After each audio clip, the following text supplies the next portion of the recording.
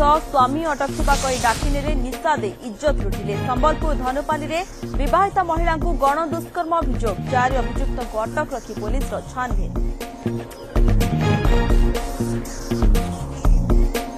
ପ୍ରେମ ପ୍ରତାରଣା ଆଉ ଆକ୍ରୋଶ ବାଲେଶ୍ୱରରେ କୋର୍ଟ ମ୍ୟାରେଜ ପୂର୍ବରୁ ପ୍ରେମିକକୁ ପ୍ରେମିକାର ହତ୍ୟା ଉଦ୍ୟମ ଅଭିଯୋଗ ଚାରି ଦେଇଥିଲା ବିଷ। ନିମାପଡ଼ାରେ ପ୍ରେମରେ ବିଫଳ ପ୍ରେମିକାକୁ ଛୁରୀ ମାରିଲା ପ୍ରେମିକ।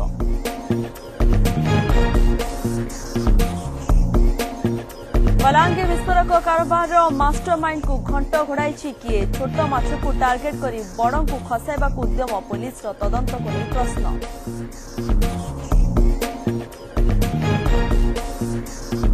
ସମ୍ବଲପୁରରେ ମିଲର୍ସ ପ୍ରଶାସନ ଓ ଯୋଗାଣ ଅଧିକାରୀଙ୍କ ଅସାଧୁ ମେଣ୍ଟ ମଣ୍ଡିରେ ଧାନ ବିକୁଛନ୍ତି ବାହାର ରାଜ୍ୟର ଚାଷୀ। ବୀମା ରାଶିକୁ ନେଇ ଚିନ୍ତାରେ ସ୍ଥାନୀୟ କୃଷକ।